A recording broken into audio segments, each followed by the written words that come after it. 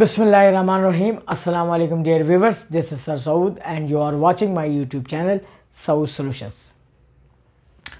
आज के video lecture में मैं आपके लिए लेकर आया हूँ second year mathematics chapter number six integration का कराची बोर्ड और आज के वीडियो लेक्चर में हम सीखेंगे बेसिक रूल्स ऑफ़ इंटीग्रेशन तो आइए बेसिक रूल्स की जानिब बढ़ते हैं पहला रूल आपको नज़र आ रहा है इंटीग्रल साइन एक्स की power n d x is equal to x की power n plus one divided by n plus one plus c slash n is not equal to minus one ये जो rule है, ये हमारे पास basically power rule कहलाता है।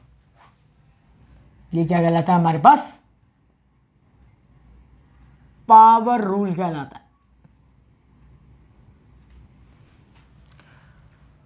अब इसकी एक्सप्लेनेशन देखते हैं पहले। ये जो चीज़ होती है वेयर साइन ऑफ़ इंटीग्रेशन कहलाता है।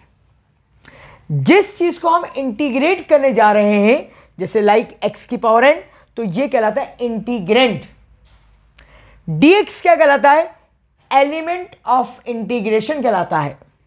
और सी कहलाता है कांस्टेंट ऑफ़ इंटीग्रेशन अब हम एक एग्ज़ाम्पल यहाँ पर डिस्कस करते हैं। एग्ज़ाम्पल यह है।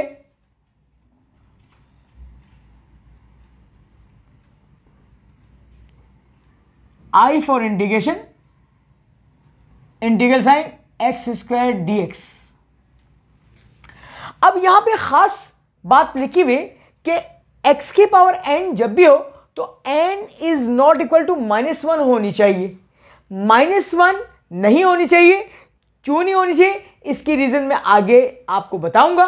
पहले मैं माइनस वन के अलावा कोई भी पावर सपोज़ करके एक एग्ज़ाम्पल सॉल्व करा रहा हूँ, जैसे लाइक एक्स की पावर टू अब यहाँ पे क्या है कि जिस चीज़ को इंटीग्रेट करना है, उसकी असल पावर एन में एक का इजाफा कर दूँगा, यानी कि ऐड कर दूँगा, उसी से डिवाइड करूँगा, और plus c constant of indication लगा दूँगा। तो यहाँ देखिए पावर टू है तो मैं इंटीग्रेट करते वक्त इसको। क्या करूँगा? एक्स की पावर टू प्लस वन करूँगा divide by two plus one करूँगा and plus c constant of indication लगाऊँगा। कांस्टेंट ऑफ़ इंडिकेशन लगाने का रीजन ये होता है कि जब हम किसी भी फ़ंक्शन को डिफ्रेंशिएट करते हैं वहाँ पर कांस्टेंट टर्म जब भी आता है तो कांस्टेंट का डेरिवेटिव क्या होता है? ज़ीरो हो जाता है।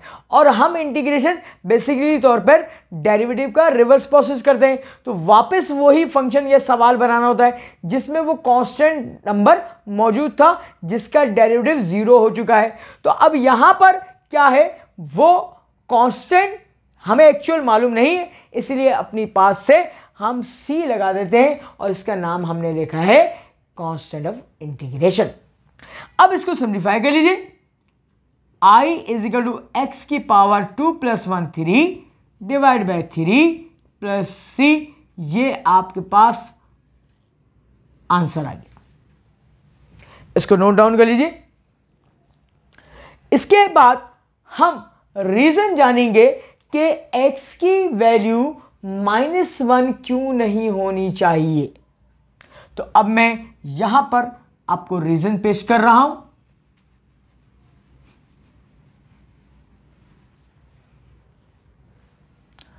तो यहाँ पर हेडिंग डाल दीजिए आप लोग रीजन की।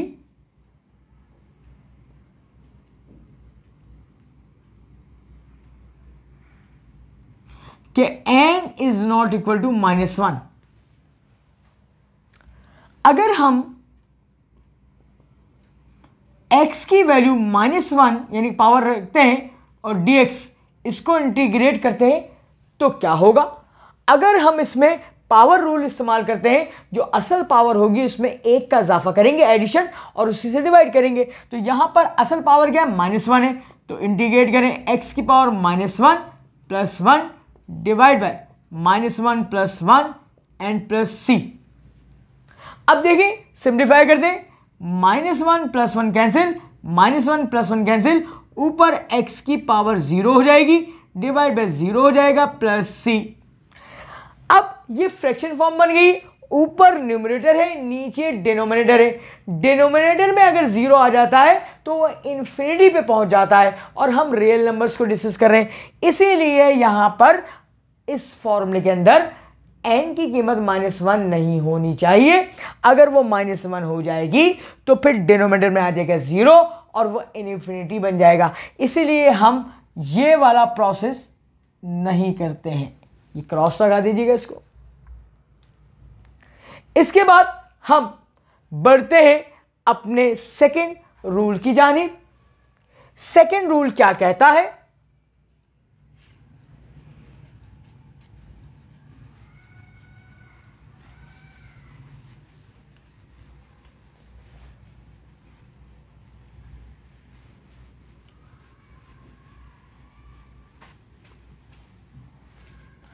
अगर हमारे पास फ़ंक्शन इस तरीके का हो ए एक्स की पावर एन डी एक्स यानी कि अब वेरिएबल के साथ कोई ना कोई कोफिशिएंट मल्टीप्लाई में लिखा होगा जो लाइक ए है तो आप इसकी इंटीग्रेशन कैसे करेंगे? तो सबसे पहले रूल के तहत क्या करेंगे? इसके कोफिशिएंट को बाहर निकालेंगे साइन ऑफ़ इंटीग्रेशन से। एक्स की पावर एन करेंगे डी एक्स अब इसकी पावर एन में एक का इजाफा करेंगे, उससे डिवाइड करेंगे। तो देखिएगा ए एक्स की power n plus one divided by n plus one n plus c इस रूल की भी एक एग्जाम्पल्स जो है सॉल्व कर लेते हैं। जैसे एग्ज़ाम्पल है हमारे पास आई इंटीग्रेशन एक्स की पावर फोर डी एक्स यहाँ पे वेरिएबल है, इसके साथ कोफिशियंट क्या मल्टीप्लाई कर रहा है? टू टू को पहले इंटीग्रल साइन से बाहर निकाल लीजिएगा। एक्स की power four and d x अब ये रूल नंबर वन से मैच कर रहा है एक्स की पावर एन से तो इसकी असल पावर में एक का इजाफा करेंगे, उससे डिवाइड करेंगे। तो यहाँ देखिएगा। टू एक्स की power four plus one divide by four plus one plus c तो फाइनल रिज़ल्ट होगा इसका i is equal to two x की power four plus one five divide by five plus c ये आपका final result होगा।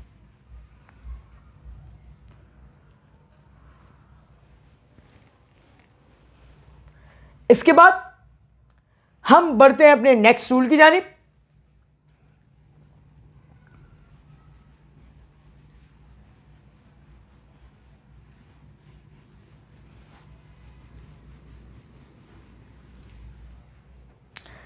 Next rule है हमारे पास rule number three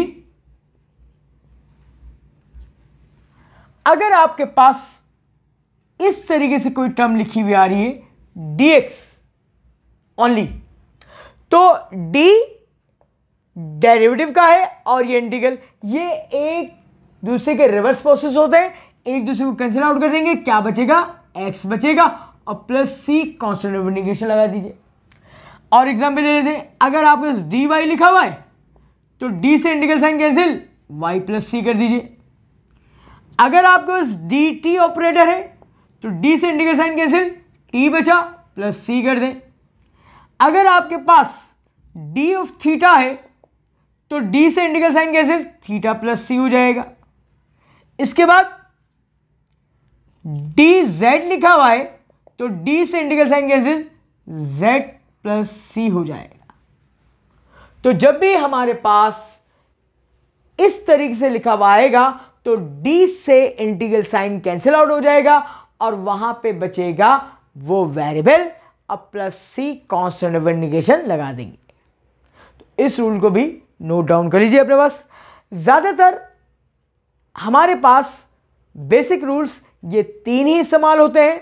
इसके अलावा अगर एक से ज़्यादा टर्म्स आ रही हो, दो टर्म्स हैं, तीन टर्म्स हैं तो या चार टर्म्स हैं किसी सवाल में तो हम इंटीग्रल साइन और ये जो एलिमेंट ऑफ़ इंटीग्रेशन होता है, इसको मल्टीप्लाई करके डिस्ट्रीब्यूट कर देते हैं। डिस्ट्रीब्यूट करने के बाद वही रूल्स को फॉलो करते हैं और इंटीग्रेशन करते हैं। अब नेक्स्ट लेक्चर में मैं इन तमाम रूल्स को एक्सरसाइज नंबर 6.1 के सवाल में अप्लाई करना सिखाऊँगा आपको। जब तक के लिए आप मुझे इजाज़त दीजिएगा। अपना बहुत ख्याल रखिए। चैनल को सब्सक्राइब करना ना भूलिएगा। बेल आइकन का बटन भी प्रेस करें, अपना बहुत ख्याल रखें लाइक करें, दोस्तों के साथ शेयर करें। अल्लाह हाफिज़।